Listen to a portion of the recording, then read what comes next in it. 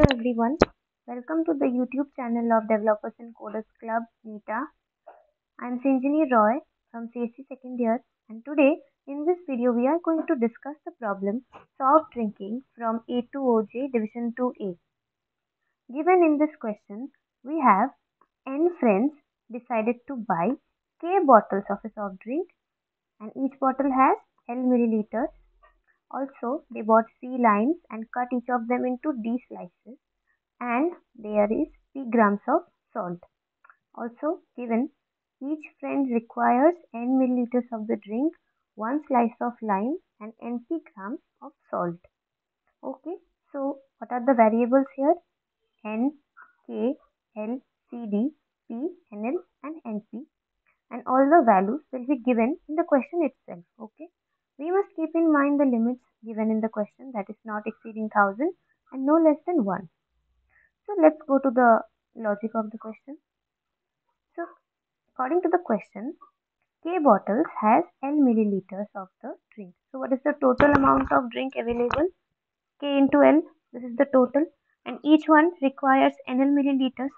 So the amount of juice available to each person will be total by NL means K into L by NL. Similarly, for uh, the slices of lime, we have total is C into D. C slices, uh, C limes and D slices, C into D and each one requires 1, so CD by 1. Similarly, for salt, we have P grams in total and NP is required by each. So, total fraction for each is P by NP.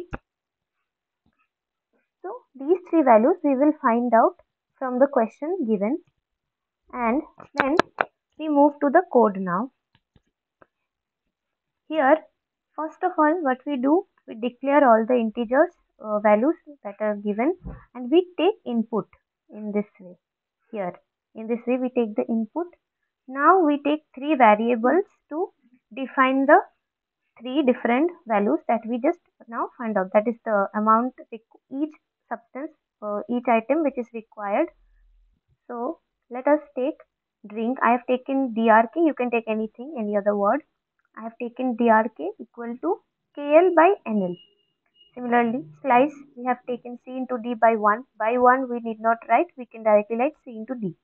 For salt, we have taken SLT equal to P by NP. So, these are the amount of substances required by each of them to make a toast. Okay. So, now assume that these values have the value suppose 50 60 and 70 each of these. So what is the minimum number of toast that we can make? We can make 50 only 50 50 is the maximum right? Because we cannot make 60 because 50 would be insufficient. We need each of these in equal amount. So 50 is the maximum number. So how do we find out this value? We take minimum of the three. Of these three values we take minimum of these three values. So how do we write this in our code we just take another variable and write it as a function minimum. In this way we find out the minimum of the three values and we then divide it by n. Why n? Because total number of uh, total number required by each will be the total number of toasts that can be made divided by the total number of people that is n. So we divide final is the final number of toasts that can be made by each person. So that, that is total divided by n so for, for the final output, we just print out final, cout final, okay. Uh, let us uh, dry run with the given example. The first test case given is, what are the values? 3, 4, 5, 10, 8, 100, 3, 1. So what is the value of KL? KL is 4 into 5 that is 20 and NL is given 3. So 20 by 3 what do we get? 20 by 3 we get here 6 Similarly, n uh, c into d is 8 into 10 that is 80 and divided by 1 is 80 only and p by np p is given here 100 and np is 1 so that is 100 so what is the minimum of these three? 6 is the minimum value and what is n here? 3 so 6 by n 2 so our output should be 2 so it's 2 it's matching. Okay. So now let's run this uh, in our submit this submit the code in Codeforces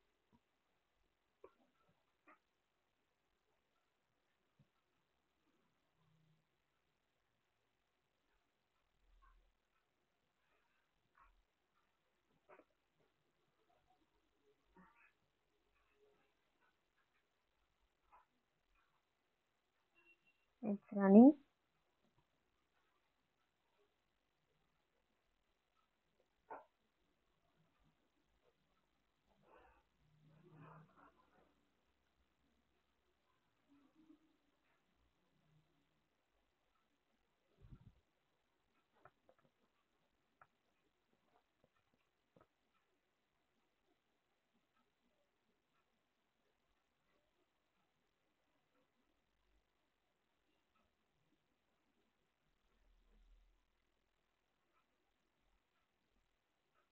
see it's accepted so our code is accepted.